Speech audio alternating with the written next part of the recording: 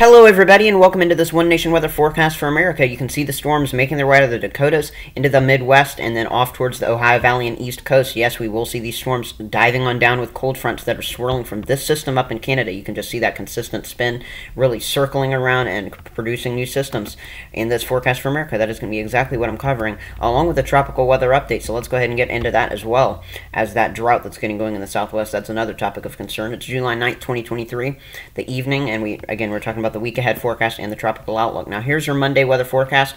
Cold front pushing off the east coast for us here with a stationary boundary in the south. Not uncommon for this time of the year for them to stall, which means the Gulf Coast states, portions of the east coast will be getting wet with some showers and storms. Unusually wet into portions of the northeast. We'll talk about that in just a minute. And then we also have these severe weather zones into portions of the plains. I know it sounds like deja vu of the last couple months, really there.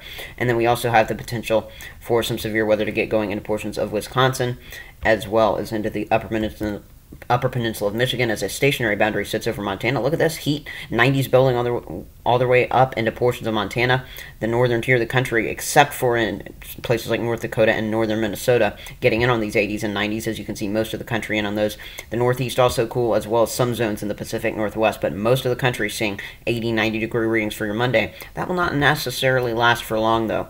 Here's that flood risk. I do want to give a br briefing on that in the Northeast for us here. Eastern New York, all the way on over to Maine, but especially Vermont, New Hampshire, as well as Massachusetts, we have that level 3 flood threat. So let's play that out, at least for your Monday morning radar. You can see these heavier showers and storms pushing their way on through. This the HRRR model. Notice it, it shows that heaviest rain getting going in eastern New York and western Vermont, which is where it spins out those heaviest totals. But look at these. Some of these yellow areas are where we could see four to six inches of rain. Some of these darkest spots, I think, in anywhere in portions of New, northeast New York, western Massachusetts, as well as Vermont in New Hampshire, we could see one or two spots in each of those states pick up seven to nine inches of rain. So we need, really need to keep a very close watch on that. But even towards New York City, places like Trenton, New Jersey will at least get a few inches of rain. Certainly something that could produce some isolated flooding, especially on those urban area streets. Now, here's a look at the Monday severe weather outlook again. Not much activity getting, getting going in the Ohio Valley, the Tennessee Valley for us because that cold front will have dried that area out. But you can see the East Coast at least getting in on some storms. Some of them could be severe along the Gulf Coast, the Carolina coast as well. But look at where the level 2 zones are again. Southern Central Plains and then up into portions of the UP of Michigan and Wisconsin. Wisconsin force there, and these zones have the potential for scattering, damaging wind gusts to 70 miles per hour, scattered large hail events up to 2 inches in diameter in these yellow zones primarily, and a few tornadoes in that plain zone for you here, which stretches from Nebraska down to the panhandle of Texas. The storm energy, it will be pretty abundant. We'll see moderate levels of that at least pushing further north. Now, the HRRR model doesn't really want to spin out much out of these storms, but notice how the FV3 high res is definitely spinning out some storms all the way from the upper peninsula of Michigan again back towards Kansas. They will include the panhandle of Texas, though that is not pictured for you here. You get the point. It's been pretty much rinse repeat with more of these storms. And then as we make our way into our Tuesday, the level 2 shield includes Iowa, Missouri, portions of Kansas, as well as Nebraska, with a level 1 risk along the Gulf Coast states for us. Again, flooding is also possible in those storms that get going there. The Northeast still getting some wraparound moisture with that low pressure system that has developed there. We'll be definitely be keeping a very close watch on that for more flooding potential some areas in the south and central tier of the country getting some more rain. Notice we've got more comfortable temperatures in the northern tier of the country, still hot and dry in the southwest, still very warm in many portions of the southeastern tier of the country.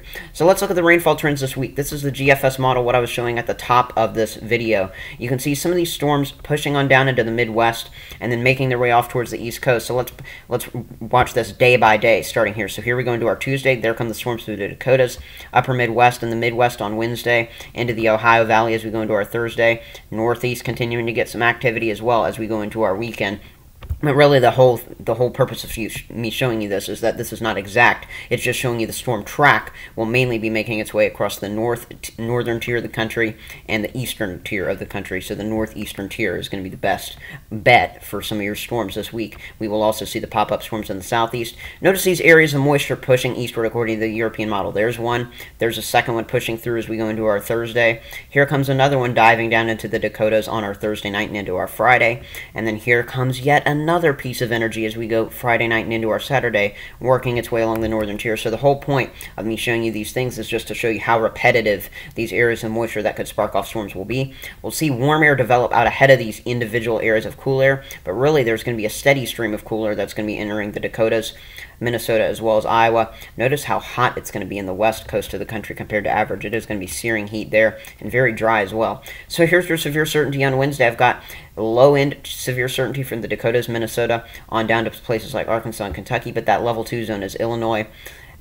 Missouri, and then also into portions of Kansas for us here. As we go into our Thursday, that zone shifts into the Ohio Valley, and then as we go into our Friday, I think that first zone shifts off towards the East Coast and Mid Atlantic, with a new one developing into portions of Missouri, Illinois, and Kansas. Again, this is just preliminary, a level two out of five for me now. Here's a look at the oops. Here's a look at the tropical development outlook. It is a 30% chance of development. Now, now, why there is not an X on here, you might wonder. It is because the entity has not yet developed as of your Sunday afternoon, but when it does, it will be looking like it's going to be in this area, the north central Atlantic force here.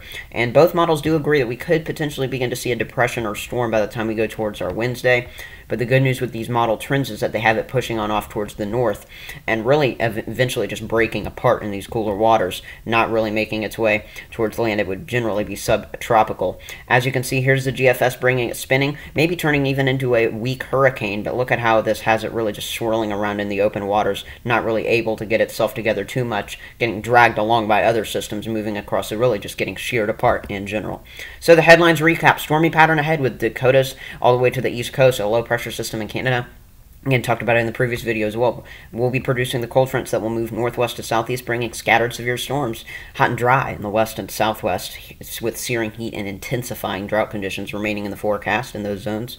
And then cool spots will be the north central zones, where we'll have that steady stream of fronts, leaving most of the northern plains and upper Midwest with 5 to 15 degree temperature departures at times. And then tropical storm Don may form by late week, so we'll keep an eye on that. Subscribe, hit the like button, and here are the credits, everyone.